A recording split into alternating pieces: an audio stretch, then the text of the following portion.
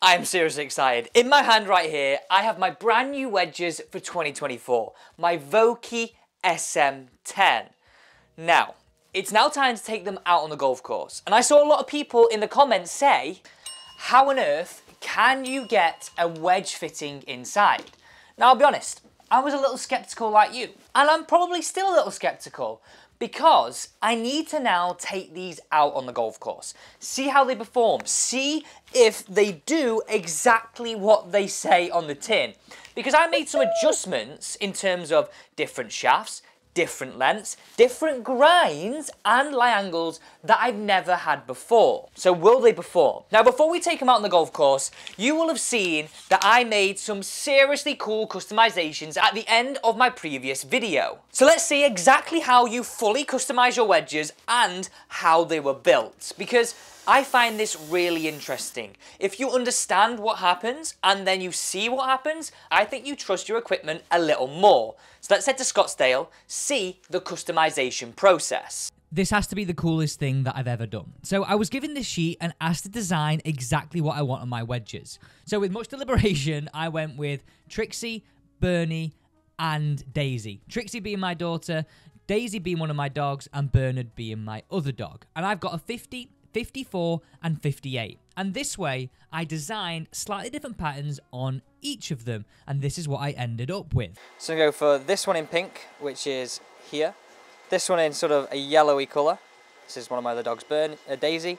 And then finally, this one in sort of this sort of goldy colour for Bernard. Now with the wedges, you can choose from all the different finishes, and this is them here. Now I've actually gone for the black, but which ones would have you gone for?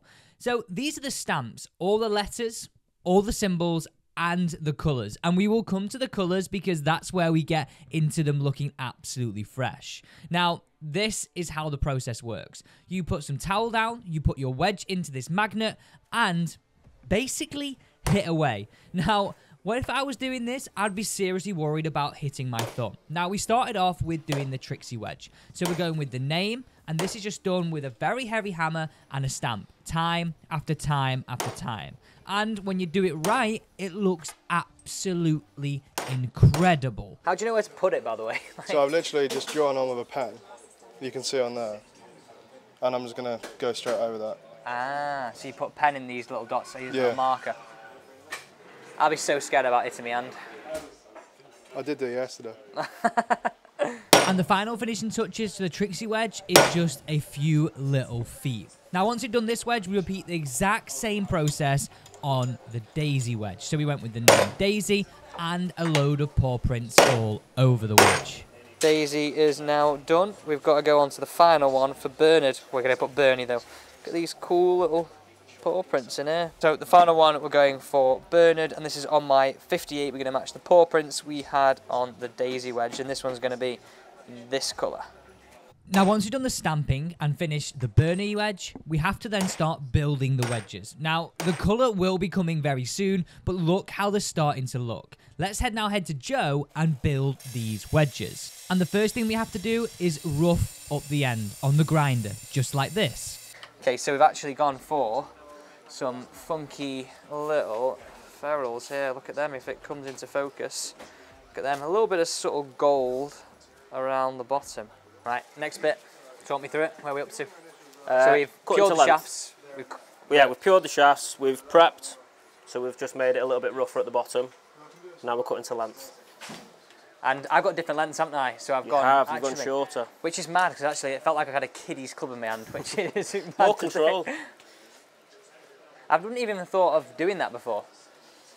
Not many people do. You tend to see it a little bit more with woods but not as often with. So yeah. Going 35 and a quarter. Because I went um, short with my my driver that you fitted me for. You did. This is where I'm going to test you. What was it? 45, half short. The video is up, so you do realise we can go back and we'll check. go back and double check, but I'm confident with it. And then this is the sorry, Twice. It's a 54. So they're all playing, but half, half short. Half so short. 35 is your 54. Just need to make sure I put the right shaft in the 50. Oh yeah, different shaft, haven't I? What have I gone for in my 50? It's the dollar taper. So a little bit heavier, probably a touch firmer. Play a bit more like a normal iron shaft. A little shaft. bit more like an iron shaft, where you've gone a little bit heavier but softer in the in the 54 and the 58. And I'll be honest, I'm dying to see what that feels like on the golf course. So once all the lengths have been marked, put it in the machine and just simply cut away. This machine is actually one of the most satisfying things ever. So what's this for? Just to make sure the swing weight. Swing weight's correct, yeah. So the balance between the clubs is the same, so they don't feel one too heavy or too light from wedge to wedge. And what will these wedges be, roughly? They will play a touch light, so we can add a little bit more weight. And that comes out. A little bit more weight in the tip end, just because you have one a little bit shorter. Yeah. So we just need to probably add a little bit more weight towards the head to make the balance a little bit more consistent. Otherwise, what would it feel like? So if someone cut something down and didn't swing weight it right, what would It that... affects the, the overall weight of the club, but also how it'll make the head feel a lot lighter. Because most people will realise this when they change sometimes a putter grip as well, how it makes things feel slightly different. I know you're not affecting length, but the feel yeah. that's most probably the most relative for people. Those ferrules look good, by the way, with the uh, black head on. So I'll show you that. Oh, yeah. Look at that. Good choice, then. Good choice. 2.4. So what swing weight are they all? So just for argument's sake, at the moment, without a head, without that weight in there, that Yeah. will come out at C C8, where without a weight, that's D.24. So now they're both playing around sort of D.25. So weight-wise, They'll feel and a lot more consistent. Yeah. So now on to gluing all the heads. So they don't fall off. Yeah. Cheers, nice one. so you have to glue the weight in slightly. Yes. So I've added weight to the to the brass weight. Glue in the head. Glue just to secure that in there.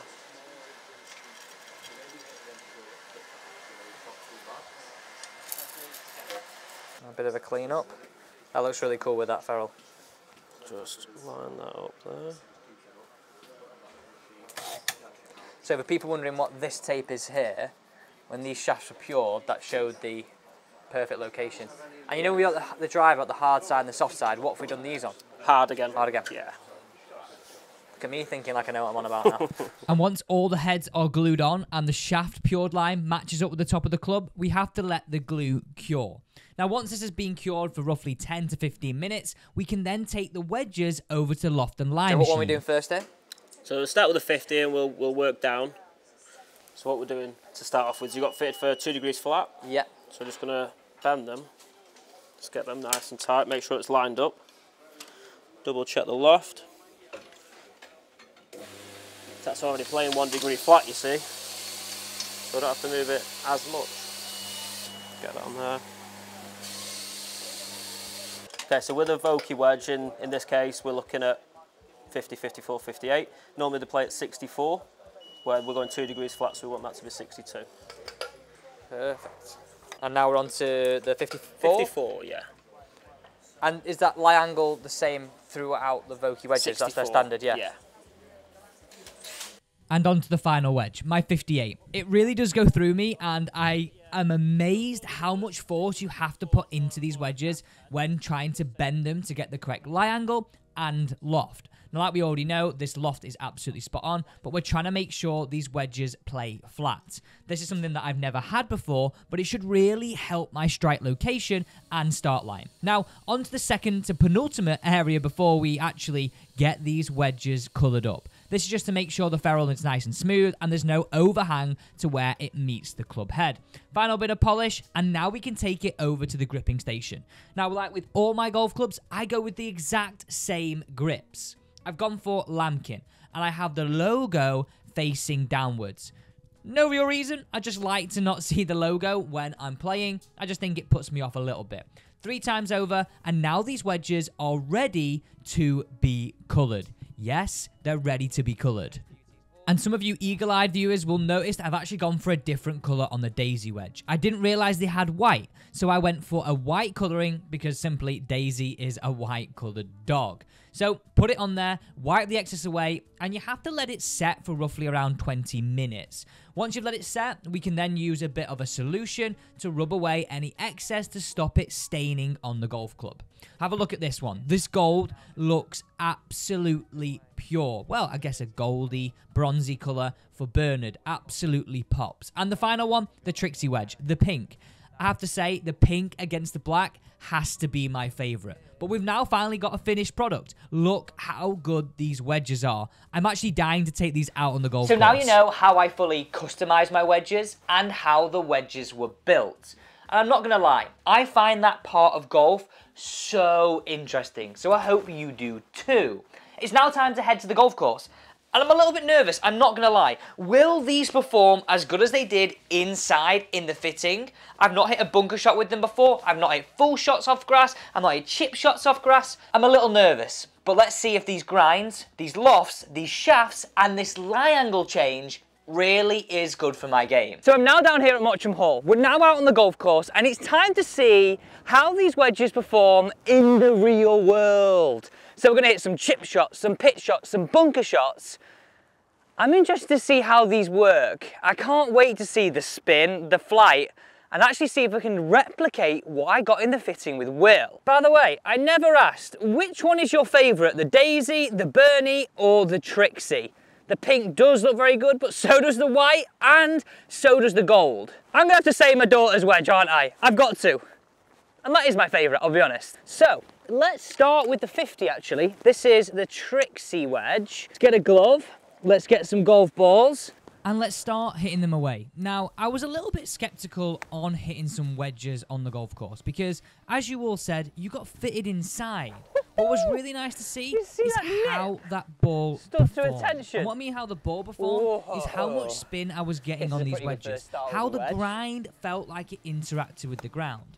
Now here we're roughly around sort of 45 yards from the flag, and this is just sort of like a low to medium sort of check and stop shot that I play. And one that, I'll be honest, in the past I've not really had much control over.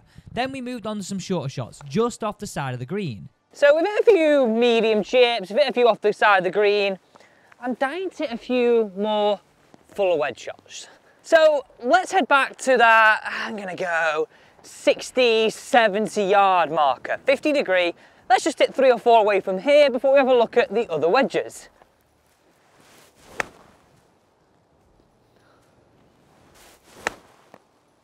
Love that flight.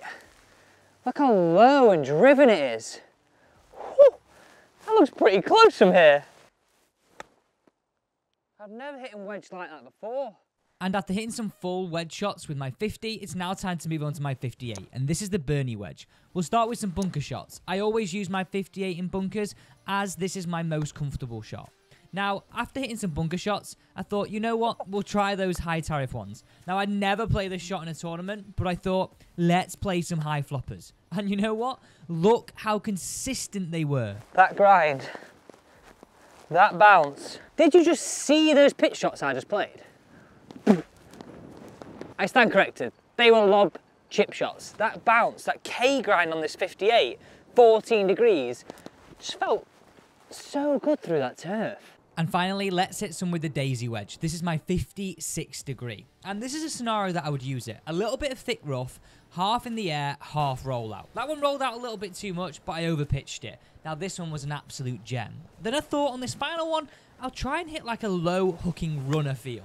And look how this turned out. And this is what I love about these wedges. How I feel like I can use them in all scenarios. Okay, so now after hitting loads of different shots, different yardages, short shots, long shots, with every single one of these wedges, I can confirm, like, I'm actually surprised, like, the feeling of the quality of the hit. And what I mean by the quality of the hit is I'm not getting that glancy feeling like I've had with any of my wedges in the past.